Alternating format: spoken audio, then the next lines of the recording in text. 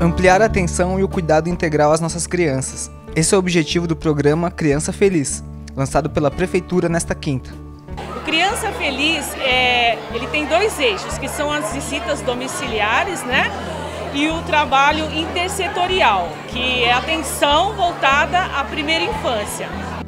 Agora, assistentes sociais visitarão cerca de 200 famílias carentes para acompanhar gestantes e crianças de 0 a 6 anos de idade, ajudando no desenvolvimento e garantindo o futuro dos nossos pequenos. Vi que era uma coisa muito importante para mim, tanto para mim quanto para o meu filho, né, que está por vir, que a gente vê que Itapevi não tem nada. E agora Itapevi tem tudo.